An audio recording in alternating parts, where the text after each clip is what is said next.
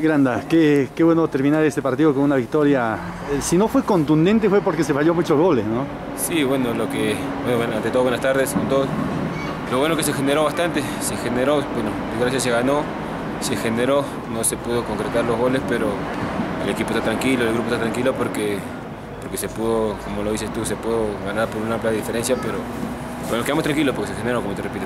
Claro, ha, habido un cambio total de actitud. Tú no fuiste parte del primer partido, pero este Ugarte es muy distinto, ¿no?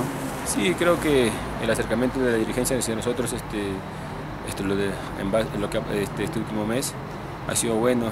hemos conversado muy, hemos puesto las cosas claras de lo que queremos nosotros como, como grupo, como futbolistas y lo que le quiere la dirigencia. ¿no?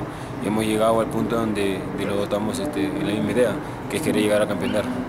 Claro, ojalá este sea el punto de quiebre. Sí, esperemos que sí. Este, solamente ahorita nos queda trabajar. Nos queda trabajar el día a día, prepararnos para lo que se viene el fin de semana. Claro, tuvieron que ingresar jóvenes porque también hay que sumar en la bolsa, ¿no? Sí, también este campeonato, como tú dices, no es un tema de que también hay reglas de, bolsa de minutos que te exigen también por ahí que, que, puedan, que tengan que jugar jóvenes, ¿no? Pero bien, bien, los chicos que entraron, la verdad que, que uno se quita el sombrero porque entraron y no hubo mucha diferencia, ¿no?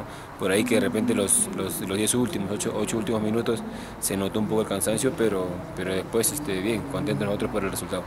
Ahora, ya, ya hay que pensar en el, en el, siguiente partido, pero esta semana se va a poder trabajar por lo menos mucho más tranquilos, ¿no?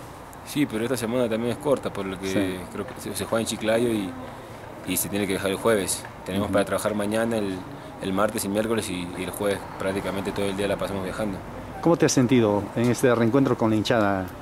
Bien, bien, la verdad que contento, bueno, después de, después de, de casi dos años que, que, me toca jugar acá en Puno con, con, público, en lo personal, me he sentido muy bien, muy contento con, con la gente.